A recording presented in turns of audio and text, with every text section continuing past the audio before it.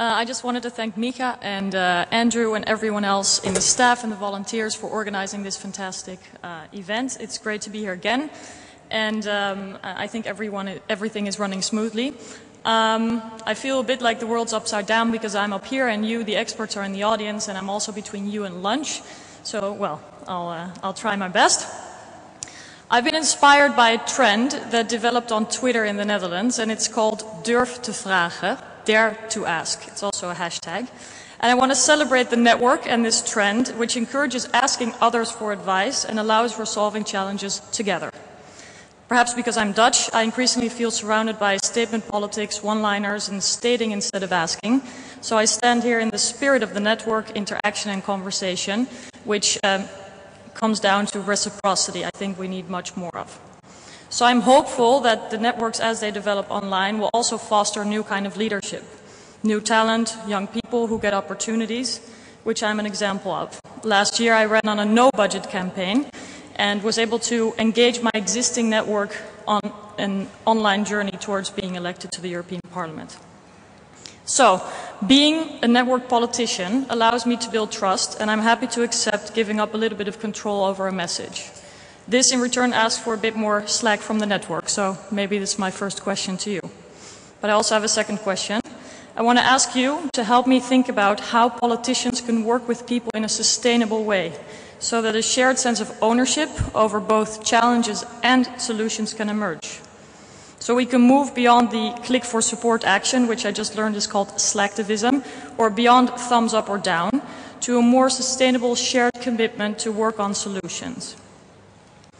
With the limited capacity I have, even though I have a fantastic team, uh, I get hundreds of emails a day, tweets, messages, and everything. And with the current infrastructure, working with uh, civil society and people like you would really help me increase impact, and your impact also.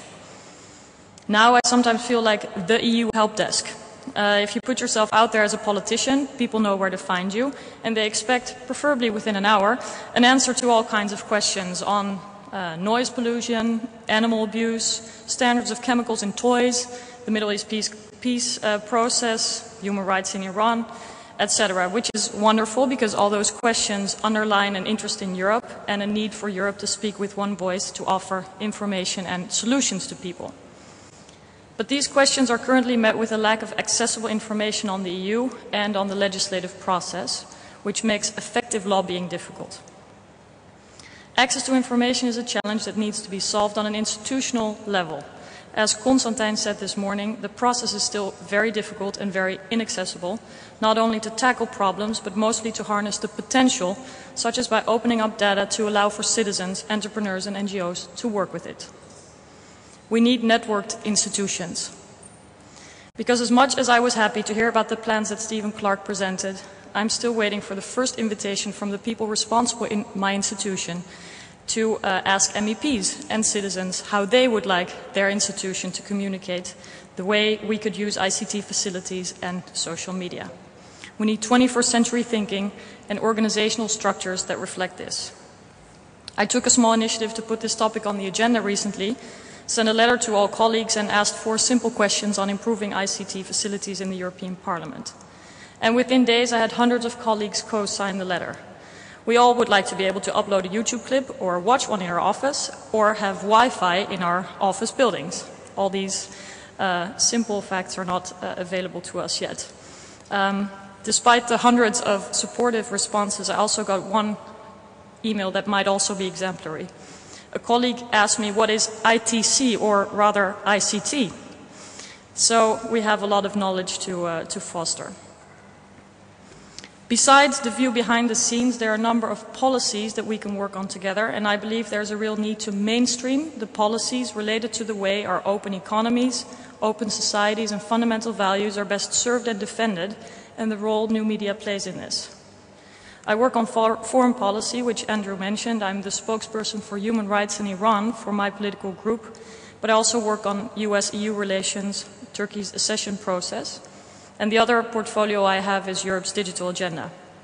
And I believe that the two are bending towards each other. Alec Ross this morning talked about the difference between open and closed societies and said we're all part of the struggle, and indeed I think we are. I applaud him and Secretary Clinton for their leadership, and it is my mission to have the EU, as a community of values, overtake this leadership position. If we end up somewhere between that ambition and the status quo, I think we would already have made a quantum leap. Within the EU, the digital agenda is in good hands with Commissioner Kroes, but Catherine Ashton needs more than a crash course on Twitter. I'm authoring a report on that topic to be voted on in February, and uh, I want to put the subject of new media in external actions on the agenda. This has never been done before, and if you have any ideas on the uh, role new media should play in the EU's external actions, which uh, is becoming one coordinated foreign policy since the Lisbon Treaty was adopted, please let me know. I believe the impact new media has on our societies cannot be compartmentalized, so mainstreaming in our policy areas is important. So I want to give you a few examples of how I've made an effort to mainstream some of these new media uh, um, aspects into different EU policies. As you may know, the EU has a number of partnership agreements which uh, regulate preferred trade circumstances between the EU and third countries. And there's already a conditionality in these trade agreements that uh, asks for certain standards in democracy and, and human rights. Uh, but I think we need to include specific mentions of the internet, freedom of expression online, and access to information. So uh, I've taken that initiative consequently throughout all trade agreements. This afternoon there will be a workshop specifically devoted to uh, the Citizen Initiative, which you're all welcome to come to, where the role of the internet will obviously be one of the key issues in quantifying support for an issue among European citizens. Uh, the discussion on copyright in the EU and completing the EU's digital uh, market is a very important one. And I've worked on a number of resolutions that point out the way in which new media are used to limit human rights by repressive regimes and how uh, fundamental freedoms are hampered in countries such as Azerbaijan, Egypt, Iran, Burma and Venezuela, and also Syria, which was mentioned. Um, but I also amended uh, a few reports focusing on how refugees need information and access to the internet. Uh, it's been described to me as oxygen of fundamental importance. And also uh, this afternoon we'll hear from Birgitta from Iceland. She's a parliamentarian who initiated the Icelandic Modern Media Initiative. And we were able in the European Parliament to in turn commend that initiative and have it included in the report on Iceland's accession process towards the EU. So I think these are a few examples of mainstreaming. Besides mainstreaming, I think coordination is very important. Too often we learn too late about where uh, other colleagues are working. I'll give you one example. We had a report on human rights violations in Iran, and uh, we called out Nokia Siemens company for their export of uh, technology systems to the uh, regime. They offered a mobile network, which was then used to spy on people, to find people, to filter information. But later we learned that Nokia is bound by European standards to produce this way. So how can a European institution um, call out on their misbehavior while at the same time it's asking to produce according to those standards in a time where there were no boycotts or um, sanctions yet. So this is uh, an example of why coordination is also important so that we're not contradicting ourselves. So I'm rounding up. Um, I want to jump from the global perspective and briefly touch upon uh, the risk of tunnel vision. I want to make a plea for looking outside of our own biotope as we're sitting here together, uh, outside of our immediate network. I think we need to include people who are not self-selected and attracted to this community and network.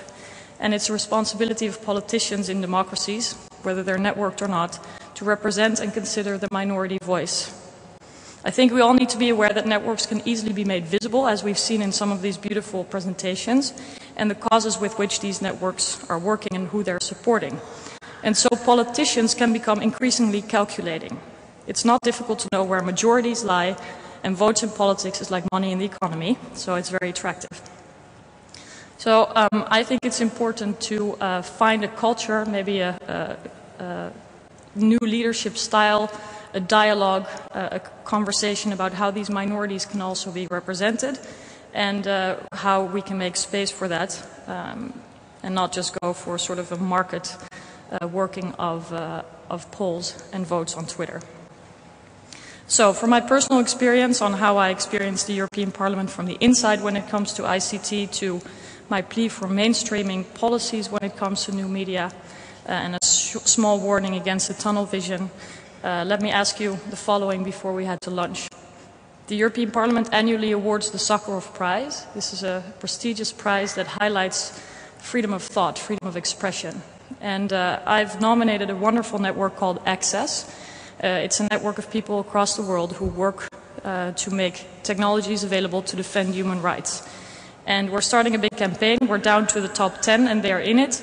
Uh, there will be a video release next week, but I'm hoping that you, from your organizations and networks, are willing to support this uh, nomination and to that way make sure that uh, new media, human rights are a little bit higher on the European agenda and that we make sure that, um, uh, well, that we defend the freedom of expression also online. So I want to thank you for your help uh, in making it a stronger and more trusted network to, to, promote and defend our open economies and democracies and to defend human rights and fundamental values. Thank you.